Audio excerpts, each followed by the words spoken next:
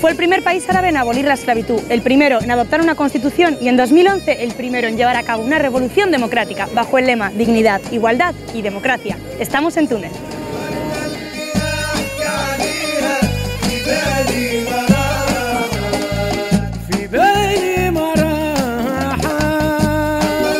Tres mil años de historia conforman la cultura, la tradición y el orgullo del país. Romanos, fenicios y bizantinos no pudieron resistirse a los encantos de Túnez. Si quieren saber el porqué, esta noche lo recorreremos de norte a sur. Comienza la ruta.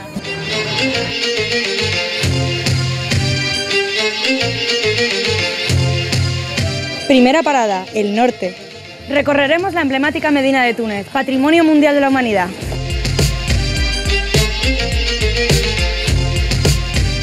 Visitaremos la que un día fue la ciudad más grande de África, Cartago. Y su vecina Sidi Bou Said, refugio de artistas y tarjeta postal de Túnez. Segunda parada, la costa central, el alma religiosa del país. El mejor ejemplo es Cairo One, considerada la cuarta ciudad santa del Islam. Tercera parada, el Gran Sur. Tras sufrir un espejismo en el lago salado del Chot, descansaremos en los oasis de Toser. Para acabar en Doud, que nos abre las puertas al imponente Sáhara, el desierto más extenso del mundo.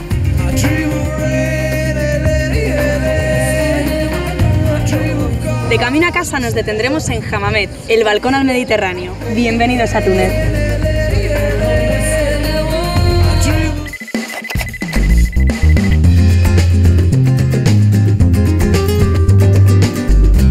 Si los musulmanes peregrinan siete veces en esta eh, mezquita, les vale como si hubieran estado una vez en la Meca, ¿no? Aquí en el foco de las Sheshías, ¿eh? un gorrito que trajeron los andaluces cuando fueron expulsados ¿eh? de, de España.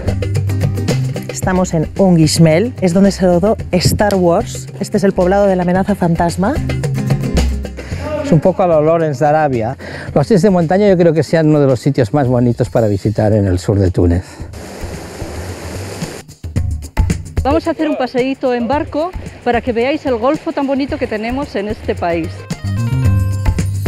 Comenzamos nuestro viaje en la costa central, donde nos espera Emilio, vallés, vasco, tunecino y amante de la vida en el campo, algo que disfruta en familia. De su mano conoceremos el alma religiosa del país. Hola. Hola. ¿Qué tal? Ah, Bienvenidos.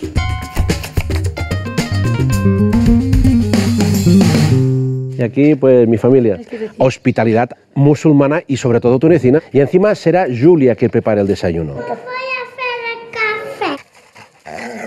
Nosotros aquí como buenos campesinos no compramos pan, ¿no? Hay un fuego dentro y cuando está caliente van pegando lo que es el pan en las paredes de- del, del círculo este y esto está riquísimo. Y esto es lo que vamos a desayunar, ¿eh? Julia, yo por los fines de semana me, me, me espayo aquí, ¿no? Después de los hoteles que me tienen allí con tanto alemán y con tanto francés.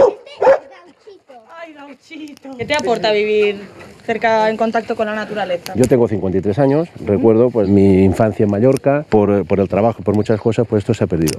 Entonces, cuando yo llevo ya 12 años aquí, tuve la gran suerte de encontrar a, a- a mi familia aquí eh, y la verdad que eh, la cosa más importante fue esto, vamos a hacernos payeses y vivimos, en, la verdad que los fines de semana, ¿eh?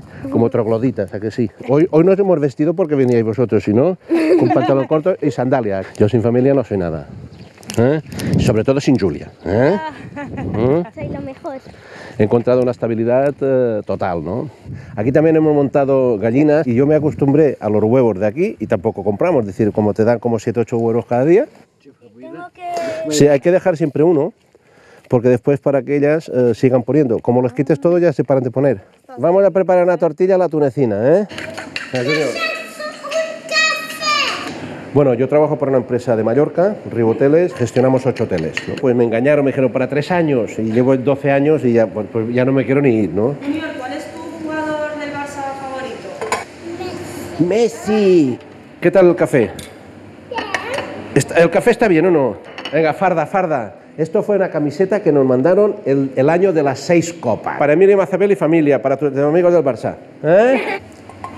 Venga. Soy eh, agrónoma, soy ingeniera y ahora eh, estoy trabajando con una empresa española. Y ella es tu hermana, ¿verdad? Sí. Casi, casi cada fin de semana tenemos familia, ¿no?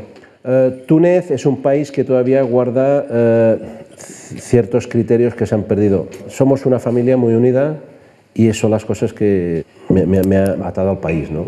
¿Vosotros coméis cerdo todos? Soy musulmana, solo que eh, yo veo el Islam a mi manera. o- Claro. Muy light, ¿eh? Tu, tu, tu islam es muy light.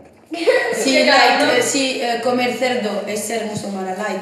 Y sí, beber de ta- tanto cuanto es ser light, sí, soy light, pero soy musulmana. ¿Vas a cantar? Ma- Ma- Mariam,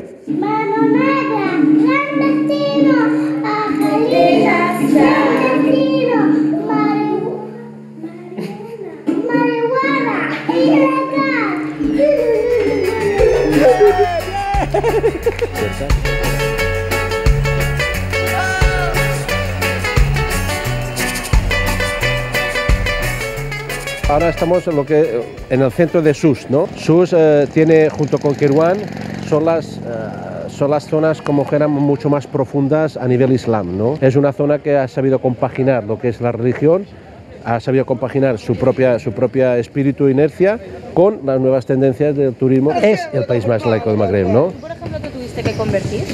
para Sí, sí, yo lo hice por amor, por supuesto. Mi mujer no lo quería, porque decía, eh, mi mujer en esto sí que es bastante laica, pero yo por respeto a su familia y al país, pues pasé y no, no, no, no me costó nada. Lo del ramadán lo que practico son las comidas del ramadán, que son la pera. De afuera pues hay que ser respetuoso. Oye, eh, no estás en tu casa y a partir de aquí no, eres, no son los otros que se tienen que adaptar a ti, sino tú tienes que adaptarte al lugar, ¿no? Este es el ribat. Esto, bueno, pues el ribat eran ni más ni menos las, las atalayas de vigía. Ustedes tienen que pensar que hasta aquí llegaba prácticamente el mar. Púnicos, romanos, primero los fenicios, cosa que les queda mucho de la parte, de la parte comercial, el espíritu comercial es fenicio. Bueno, Emilio, el famoso Coliseo del Yem. Uno de los coliseos mejores conservados del mundo. Hoy en día ella compite con el mismo coliseo de Roma.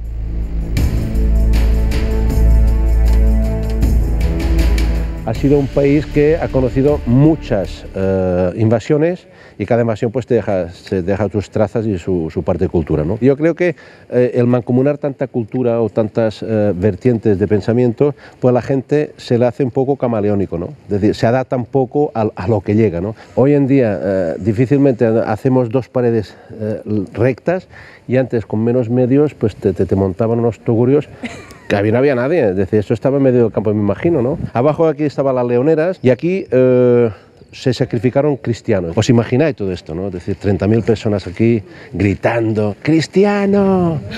eh, ¡Clandestino! Tengo el corazón eh, compartido entre el norte de España. Mi padre era de, de Oñarbi, Ondarribia, cerca de San Sebastián y mi madre era mallorquina, de Mallorca. ¿no? Entonces yo procuro en septiembre ir a las fiestas de, de Fuenterrabía con, uh -huh. con, mis primachos de allí y después pues cuando puedo me acerco a Mallorca, pues tengo mi casa, le, le, le tengo mucho, mucho, mucho, mucho, pero que mucho cariño. ¿no? Aquí era, eran todos esclavos que estaban trabajando abajo, ¿no? Eran los que guardaban a los, también a los, a los gladiadores y los empujaban a salir a las arenas, no igual que los cristianos. ¿no? Si decidía perdonarle la vida, pues subía el pulgar y si aquel día pues había dormido bien mal o la, se había discutido con la emperadora, pues le decía macho, pues para abajo. ¿no? Aquí en su día había como una especie de montacargas que salían los gladiadores de abajo, ¿no? igual que las cajas de los animales. Cuando estaban en la arena era cuando abrían las puertas. ¿no?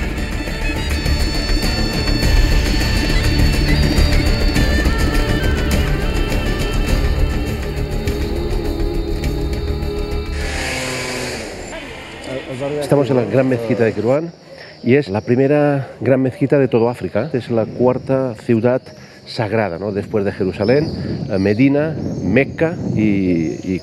¿no? Uh, uno de los preceptos del Islam es lo que es la peregrinación a la Meca, que la tienen que hacer por lo menos una vez a la vida. Entonces, si los musulmanes peregrinan siete veces en esta eh, mezquita, les vale como si hubieran estado una vez en, la Meca. ¿no? Los cánticos que ustedes están oyendo, estos son los versículos de Corán que, llamados shuras. ¿no?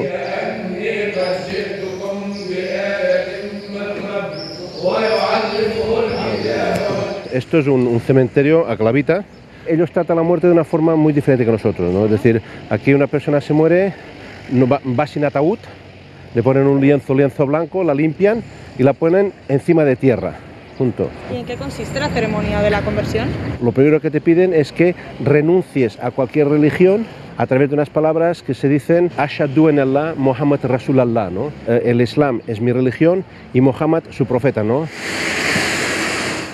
Kairouan, aparte de la, de la mezquita, por supuesto, es muy conocida por los tapices, ¿no? Estos señores son los propietarios. Esta se llama una alfombra anudada. Eh, para hacer un nudo es más o menos como para hacer un nudo de corbata. ¿Sí?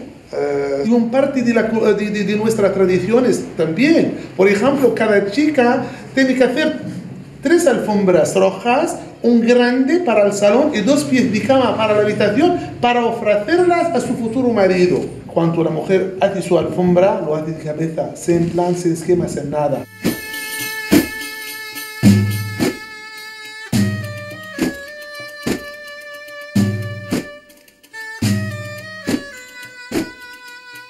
Una casa típica de Kairouan. Cada casa queruanés tiene un rincón así, sobre todo si tienen hijas, porque es el rincón donde vienen a pedir las hijas para el matrimonio. Estas dos botellas no son para solo decoración. Aquí todavía existe el ajuar, eh, son unas, unas grandes cestas eh, plateadas o doradas, y siempre hay una botella de jazmín destilado.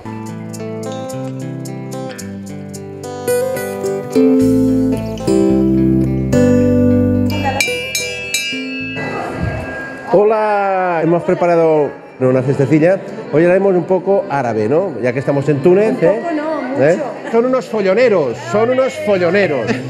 Este se llama Monsieur Mufti. El mufti. El Mufti. El Mufti es como si fuera el obispo, ¿no? ¿Eh? Soy Monsieur Hamadi. ¿eh? Es mi colega, es mi mejor amigo. Llamar de an- an- andaluza, deja él. Andaluza, ¿eh? andaluza. Se llama Alic- Alicia. ¿eh? Encantada. Encantada. Dos años ya en Túnez, ya empieza a ser veterana. veterana, veterana.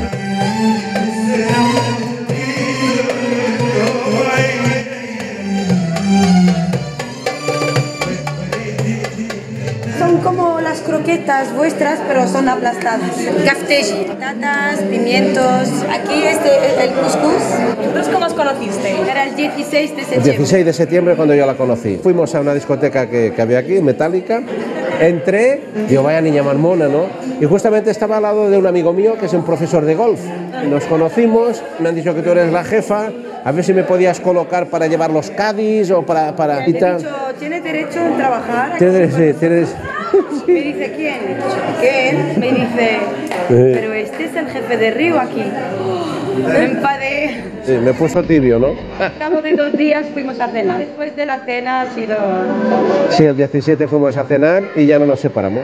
Me enamoré como un besugo y, y hasta ahora que ya llevamos casi 13 años, ¿no?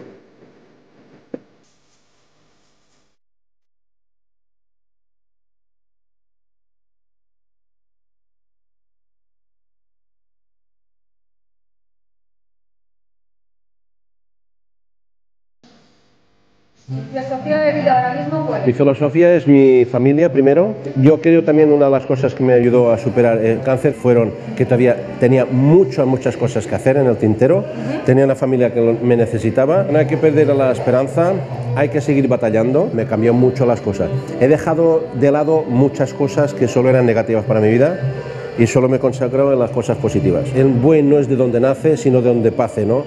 Y ahora este buey que se llama Emilio Bazael está paciendo por Túnez. Por supuesto que aquí sí que tengo que agradecer a esta señora de todas las cosas que me han pasado, eh, de donde estoy, es gracias a ella. Es así, Emilio. ¿eh? Qué bonito. La verdad que sí. Deseamos muchísima felicidad a los dos y a toda la familia. A vosotros también. Muchas gracias por haber venido. ¿eh? Vale. Muchísimas gracias. Chao. Muchas gracias. Muchas gracias. Adiós. Adiós. Bye bye. Chao, chao, chao, chao, chao.